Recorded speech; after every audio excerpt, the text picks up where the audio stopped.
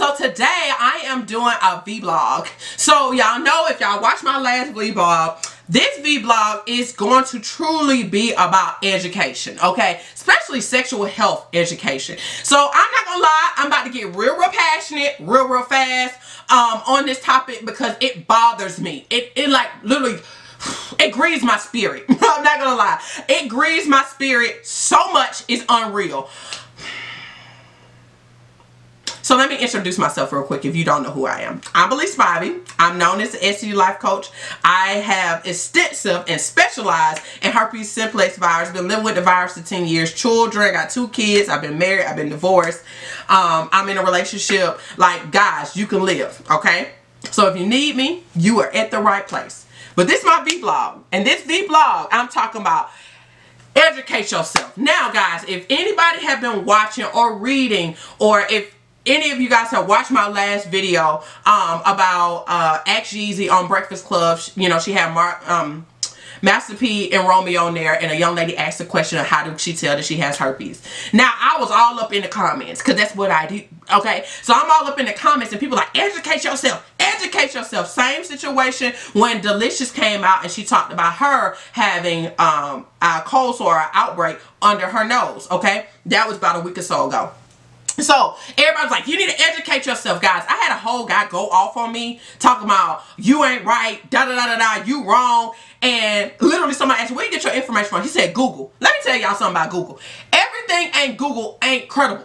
Okay? Anybody can write a blog. Okay, anybody can write anything. And yes, y'all like, well, I go to WebMD and uh, I, listen, that information is still being posted most of them, it probably not even by a doctor or a medical professional okay um the best places to go is the cdc and american sexual association okay? Places that talks about sexual health. Now i'm going to tell you cdc have got so much better with the information about herpes. American sexual association has got so much better with the information and how they word it and things like that. Now when you go in there you may not get all your answers. I'm going to be honest you're not going to find all your clear-cut answers on google Okay, you're not because the information on herpes is still scattered. It's still not accurate. And let me tell you why it's not accurate. It's not accurate because they're not doing no research on it.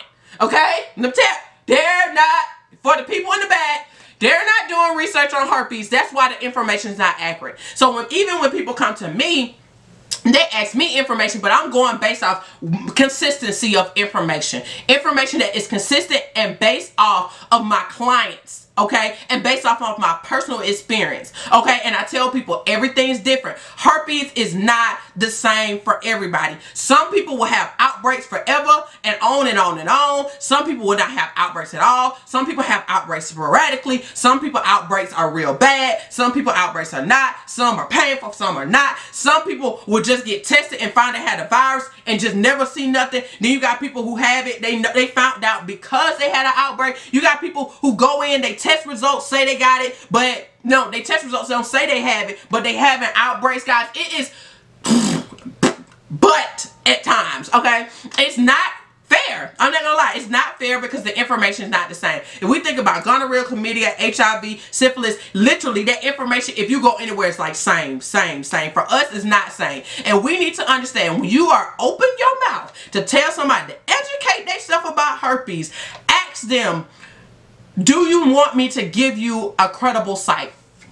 Okay, see, I'm tired of this. Educate yourself. Educate yourself for what? Because if the information is incorrect, they did not educate themselves on the accurate information, so they're still not educated to protect themselves or to protect their partners. It's no way possible to protect yourself with the incorrect information. Okay, I said it. Accept it. And this is for anything, guys. This is for absolutely anything, but I'm going hard for herpes. I'm going hard for any sexual STD or STI because at the end of the day, if you're getting incorrect information, guys, and telling people it's that and then tell them you don't know, just because y'all having two different inform got just because your information is different doesn't mean both of y'all are wrong. Okay? It may be the sources is just not clear. Okay, so I want us to understand when we are on these comments, in these comments, and we're having quote unquote debates, information debates with people, ask people, hey, I would love to know your source because this is the information I received and this is what I thought was true. And you're telling me it's not. Where did you get your information from? Sort check, y'all. It's nothing wrong with getting people sources to find out where they got the information from, guys. It's nothing wrong. Because at the end of the day, just because I got information, me, my information is just could be shallow and the information could be more in depth because of what they read. Now, let me be honest. I read like um school journals and all this stuff because I'm a doctorate student. So I know how to read and like take stuff out and benefit me. But if you're just reading a blog that you read somewhere because somebody posted it and you were looking for information that doesn't mean that person took the time to find credible sources to get this. If they could have found the first thing they could have googled it and found the first thing. But that doesn't mean it's correct. And it could be old information. I ain't gonna lie a lot of the information I hear about herpes is like years old not even updated information. So you gotta just be careful with that. That's even with doctors, guys. Ask your doctor how long you've been a doctor.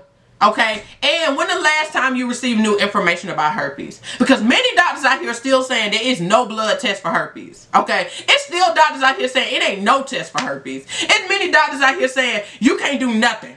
like, it's many doctors out here saying that you can't have uh, kids vaginally. You gotta get a C-section. Okay, it's people out here saying all types of stuff. Because I had a guy tell that, y'all, I can tell a doctor. He will tell you. I said, no, I'm going to tell you this. Every doctor is not equal. It's not. Depending on where you went to school, depending on where you got your clinicals, depending on who your mentor is, depending on where you work at, the information is not equal. I know I got friends who are not doctors, nurses. Their information is not equal. I got many clients who are in the medical field and they look at me like, Belisa, I did not know this.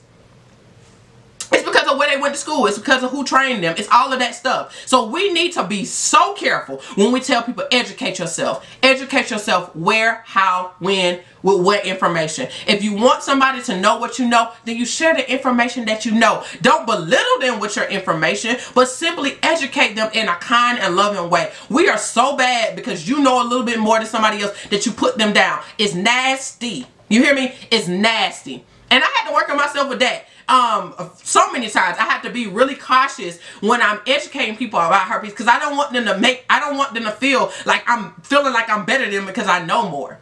And if I ever made you feel like that, I'm sorry, you know, because I'm not trying to do that. Um, I'm a little passionate, so I don't like wrong information to be put out there because I know when the information is wrong, that's keeping a person from moving forward in their lives. It's keeping the stigma on this, keeping them from having a good love life and living a great life because they're not sure about this information or they believe this